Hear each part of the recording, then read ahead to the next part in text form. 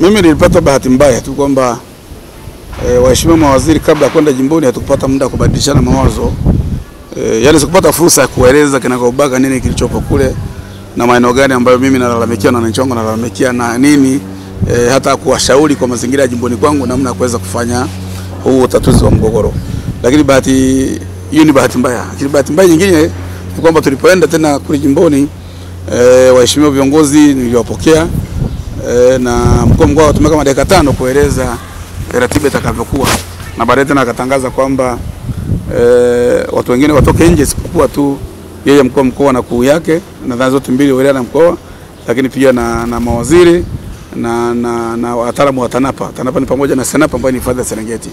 Sasa hiyo yenyewe tu pale alipotangaza hivyo e, ina maana watu tukaanza kupata ukakasi e, kwamba e, sasa tunapotolewa nje, kwa sababu katika hicho kikao sasa ukimwacha mkuu wa mkoa ambaye yeye alikuwa na maslahi yake na amekuwa sehemu ya malalamiko makubwa na wananchi katika mgogoro huo, na amekuwa akitoa kauli pamoja na zile kwamba hamtambui mbunge na mtambui mwenyekiti wa chama wilaya, na kwa kuwa sisi, mimi mbunge ambaye hanitambui ndo nilikuwepo, na mimi mwenyekiti na mwenyekiti wa chama ambaye alimtambui pia alikuwepo. Kwa hiyo tukaona sisi, maana yake ni maelekezo ambayo anataka wape taarifa na kuwapa msimamo, na kweli wakabaki wenyewe na mawaziri hawakusema neno, lakini mimi nilirudi kwenda kuwauliza kwamba hiki kitendo ambacho kinafanyika, mimi kama mbunge nimehuzunika, kwa sababu kitendo cha kubaki wenyewe, kwa sababu mlalamikiwa mkuu hapa ni mkuu wa mkoa na timu yake ya TANAPA na wananchi ndio wanalalamika wenyewe. Kwa mimi nafikisha tu sauti ya wanyonge wale kwamba watambue kwamba kuna malalamiko hayo.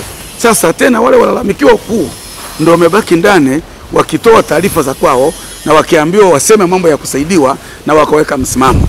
Wakaniambia sisi tutaenda site, kazi yetu hapa ni kwenda kuwasikiliza wananchi, mheshimiwa mbunge usi, usilalamike. Mimi nikakubali, tukaenda kwenye tuka, tuka, nikapokea, tukaenda kwenye tukaenda site. Sasa kwa kupata kwamba mimi siku Mwanjeleni Mabula akianza ku mheshimiwa waziri akianza kupinga kwamba mimi sikufukuzwa, muulize yeye alikuwepo kama kiongozi kama waziri, yeye mbunge akipata ugeni kama wale, kwa sababu ajenda ilikuwa inajulikana. Ajenda ya kwenda Tarime haikuwa ajenda ya kwao, haikuwa ya hiari. Ile ajenda ilikuwa ni agizo la waziri mkuu, na mheshimiwa waziri mkuu ameagiza waende Tarime baada ya kupata malalamiko ya wananchi wa kata zile tatu Woronga, Kuyancha na Nyanyuka kupitia kwangu nikiwa bungeni. Kwa hiyo ilikuwa ni jambo linafahamika publicly. Sasa kulikuwa na briefing ipi ya siri ambayo ilikuwa napeana ndani ambayo hakutaka mbunge asikie.